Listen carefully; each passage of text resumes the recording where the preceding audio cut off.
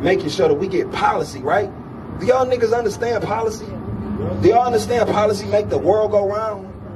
Do, uh, how many people understand policy make the world go round?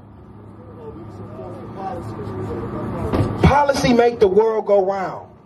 Detroit, last election, this election actually, for the primaries, to go out and determine who we gonna have to run for, for, for mayor. Damn near 90% of the city of Detroit stayed home. 90% of the blackest city in America stayed the fuck home. I don't care nothing about policy. I don't care nothing about who control the fucking bag. Everybody talk about the bag, the bag, the bag. Nigga, you don't know who run your bag. For real. 90% of the city of Detroit stayed home. Didn't even fucking bother. I can care less about my kids' education. I can care less about the resources that come to my hood. I can care less. 90% of the blackest city in America stay home. Hmm, that looks like our leadership. That looks like the mayor's office to me. Y'all let this man walk around here with his chest poked all out like he's the second coming of fucking white Jesus. In the blackest city in America, that's y'all niggas. Detroit, boss up and get this money.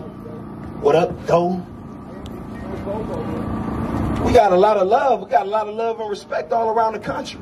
We look like shit on paper. Detroit look like shit on paper. The blackest city in America is being ran by a white man from Livonia. But yet and still you will find a nigga to say, don't go vote. I don't fuck with voting. Not gonna go out and vote and yada yada. You're not gonna put nothing, no plays together to get your own political party together. Not left, not right. I ain't no fucking Democrat or Republican. I've never seen a, a Democrat or Republican in my hood if it wasn't election time. Never.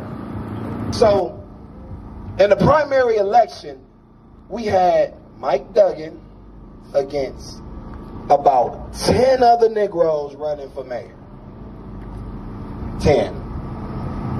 How many? 10. How many? 10. 10. 10 Negroes was running for election in the city of Detroit. I can't make this shit up, bro. It's so embarrassing. I hate saying it. 10. So you got Mike Duggan, who accumulates um, roughly around 40,000 votes, some shit like that, right? JoJo, how many? How many votes? Roughly 40,000? 40,000 votes, right? 40,000 votes in a city where it's 600, uh, seven, damn near 700,000 people. 40,000 votes. This nigga won. Y'all let him. Cool. Whatever.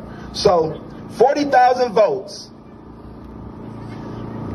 Every, all the black uh, candidates combined. That means how many? Ten. Ten Negroes combined.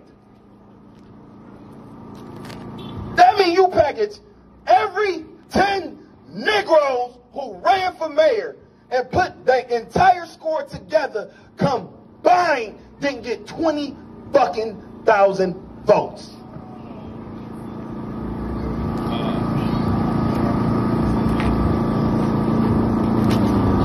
That's why I can't be mayor. Niggas talk about some run for mayor. Nigga, I be up in that bitch. Y'all think Coleman Young or something.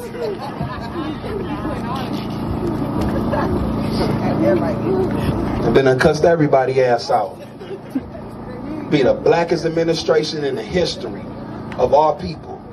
We'd have been ran everybody out. I have 59 indictments within 90 days. Bet that.